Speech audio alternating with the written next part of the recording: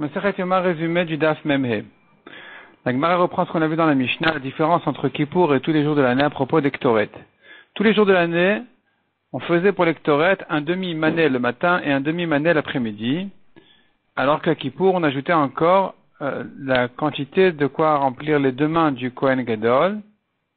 Et c'était ça l'Ektoret qu'on faisait au Kodesh Kodashim de plus que l'Ektoret habituel.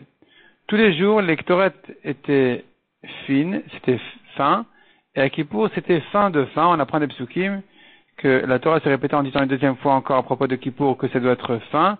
De là, on apprend qu'il faut les remoudre avant Kippour, de manière à obtenir une poudre très fine. Tous les jours, les Kohanim montent à l'est du Kevesh, de la pente du Misbéar. Pourquoi? De manière à ce que quand ils tournent euh, vers le, le sud, enfin, ils montent au sud, vers le nord, et ils tournent à droite directement à l'est. Donc ils doivent euh, être proches de là-bas, c'est-à-dire à, l'est du Kevesh, de la pente. par contre, à pour le Kohen Gadol, il monte au milieu et il redescendait au milieu de la pente. Pourquoi? C'est ça le kavod et l'honneur du Kohen Gadol. Tous les jours, le Kohen Gadol se lavait les mains et les pieds du Kior, et à Kippour, il avait une cruche en or. Pourquoi? Pour le kavod spécial du Kohen Gadol. On a vu encore dans la Mishnah de Marloquette combien de feux il y avait sur le Misbéach. Donc le grand Misbéach, qui était dans la Zara, il y avait, selon un avis, deux feux, selon un autre trois, selon un autre quatre. À Kippour, on en ajoutait encore un de plus. Pourquoi deux, trois, quatre? Alors deux, c'est un, on apprend des psukim, un pour le grand feu des corbanotes, un deuxième, c'est un petit feu, duquel on va prendre des braises pour faire l'ectorette. Le troisième feu, celui qui pense qu'il y en avait un troisième, c'est ce qu'on appelle les kiyumaesh, c'est pour qu'il y ait toujours un feu sur le misbère au cas où le grand s'éteint, alors qu'on est d'où prendre un, du feu pour allumer. Le quatrième feu, selon celui qui pense qu'il y en avait quatre tous les jours, c'est pour brûler là-bas les membres et les graisses qui n'ont pas été brûlés la veille. On va les remettre, pas on va les remettre, on va les brûler sur ce quatrième feu. Par contre, les autres anaïm pensent que non, on les remet sur le grand feu euh, des corbanotes en de tous les corbanotes. On ne fait pas un feu spécial pour eux. Et enfin, un feu de plus pour Kippour. On apprend des psukim qu'il y avait un feu de plus pour l'ectoret de Kippour. Donc un feu sur le Misber Hariton, duquel on prend des braises pour les rentrer au Kodesh HaKodashim pour faire dessus l'ectoret de Kippour. La Gemara dit encore,